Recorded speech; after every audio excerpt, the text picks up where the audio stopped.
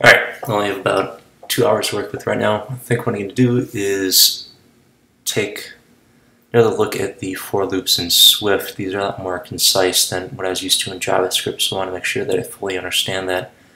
And then continue with the Ray Wenderlich tutorials, part two of their series, and uh, keep going. So let's go.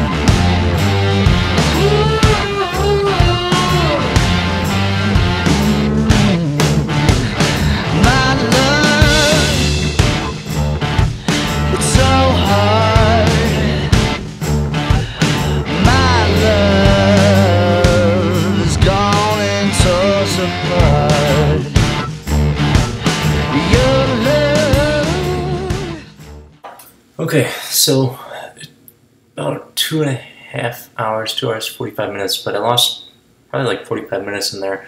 Uh, the QuickTime screen capture doesn't play nicely with Xcode, so I had a few errors I was trying to get the screen capture back up. So I'm not sure if these videos will be able to continue if it's crashing and wasting my time, but I guess I'll find out. So have the first little app here. Um, just a tip calculator. Overall impressions is that that was pretty quick. Like the auto setup, I thought that that was pretty nice how Xcode will take care of a lot of that shit for you.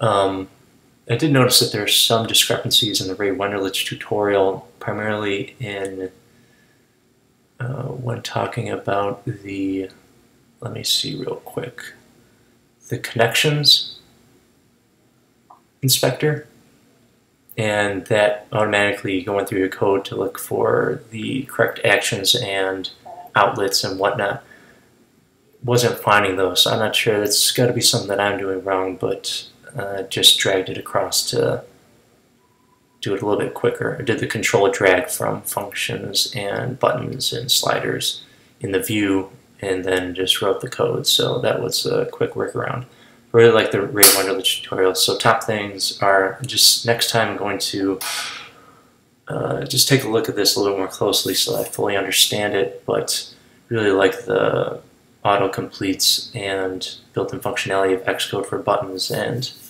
actions and everything. Um, two, going to keep going with these Ray Wenderlich tutorials. They seem pretty awesome. And three, uh, QuickTime continues to crash, then I might not go forward with these videos, or at least the full screencast, and just catch the intro and outro so I can mark progress. But, uh, yep, keep going.